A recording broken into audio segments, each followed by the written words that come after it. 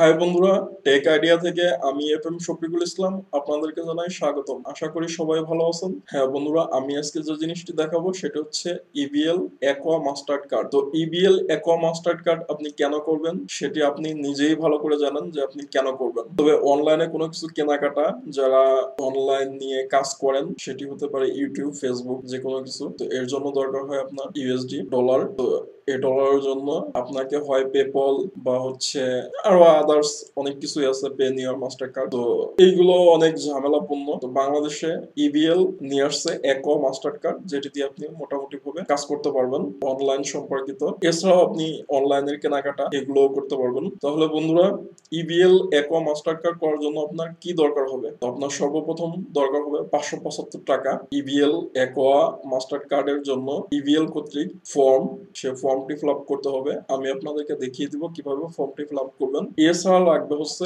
Bangladesh passport copy যেটার অবশ্যই valid date থাকতে হবে, এবং হচ্ছে এনআইডি কপি তার সাথে হচ্ছে আপনার পাসপোর্ট সাইজ তিন কপি ছবি। দেন এই জিনিসগুলো নিয়ে গেলে ওই দিনেই আপনি অ্যাকাউন্টটি করে চলে আসতে পারবেন। তাহলে বন্ধুরা, চলুন পর্যায়ক্রমে দেখে আসি কীভাবে আপনি ইবিএল একো মাস্টার কার্ডের জন্য ফর্ম ফিল আপ করবেন। ফর্ম ফিল আপটি আমি স্ক্রিনে দেখা দিব। তো এই হচ্ছে আজকে আমার ভিডিওর বিষয়বস্তু।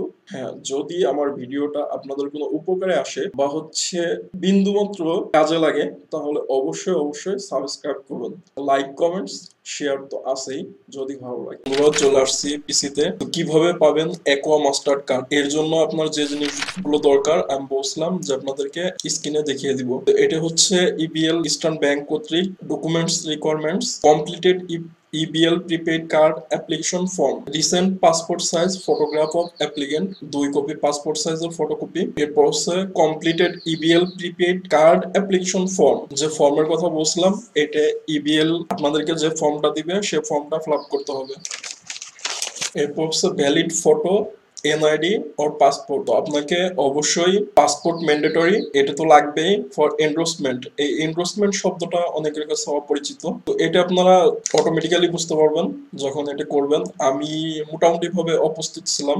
এই যে ভ্যালিড ফটো আইডি এনআইডি এইটা লাগবে, দুই কপি ছবি লাগবে, সবগুলোই দুই কপি করে নিয়ে যাবেন। এরপর আমি দেখাচ্ছি ফর্মটা কীভাবে আপনারা ফিল করবেন।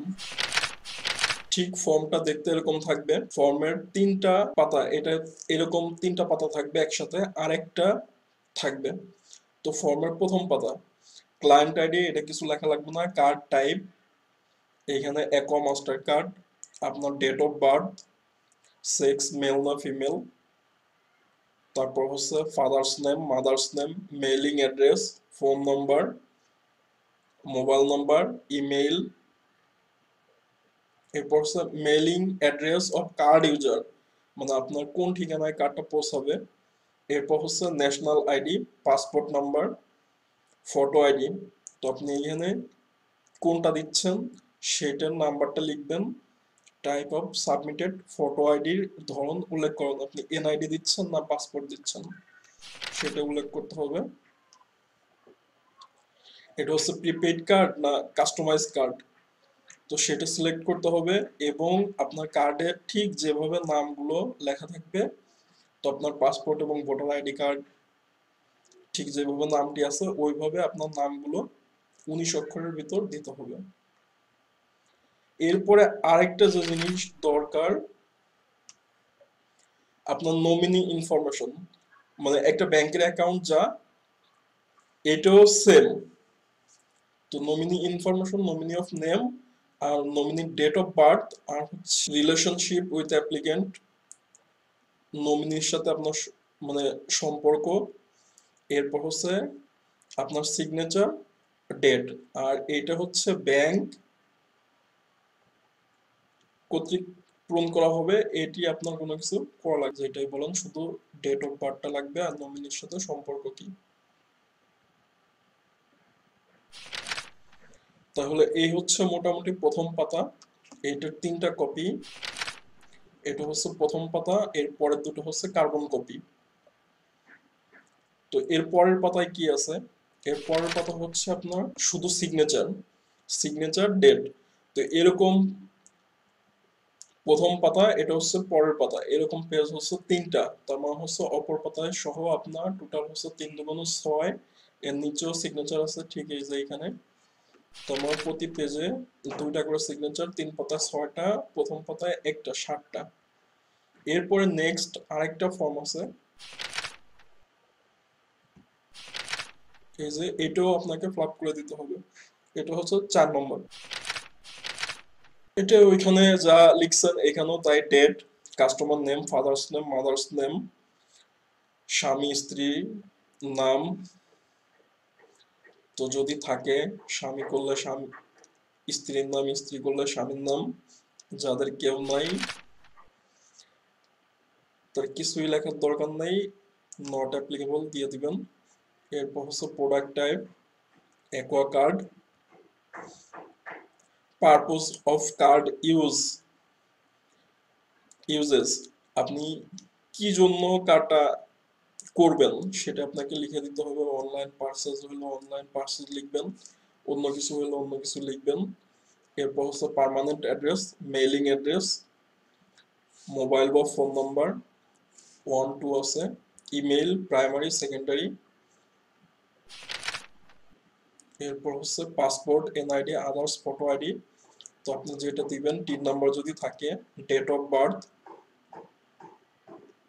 কোনটা দিচ্ছেন সেটি টিক চিহ্ন দিয়ে দিতে হবে। প্রফেশন আপনার প্রফেশন কি? এরপর হচ্ছে নেম অফ প্রেজেন্ট অর্গানাইজেশন আপনি কোন অর্গানাইজেশনে থাকলে বা ইনস্টিটিউটে থাকলে সেটার নাম। এরপর হচ্ছে ওই অর্গানাইজেশনের ঠিকানা। এরপর হচ্ছে একাডেমিক কোয়ালিফিকেশন লাস্ট যেটা আছে সেটা।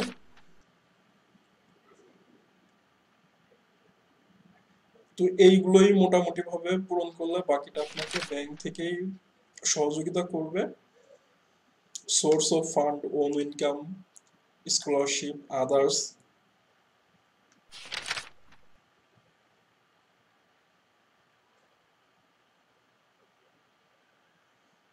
এগুলো আপনি ব্যাংক থেকে সহযোগিতা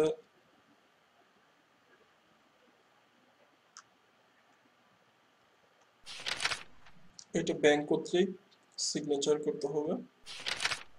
মানে ব্যাংকের নথি করবে, আপনার কোনো সিগনেচার নেই।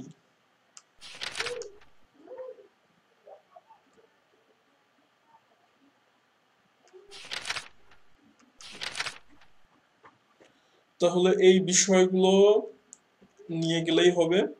তবে মেইন যে বিষয়গুলো, সেটা হচ্ছে আপনাকে ফর্ম দিবে। ফর্মটা ফিল করতে হবে। নমিনির নাম এবং ডেট অফ বার্থ আর হচ্ছে পাসপোর্ট ভ্যালিড পাসপোর্ট আর হচ্ছে এনআইডির কপি আর দুই কপি ছবি নিয়ে গেলে মোটামুটিভাবে আপনি করে আসতে পারবেন। তাহলে এই ছিল টোটাল বিষয়গুলো।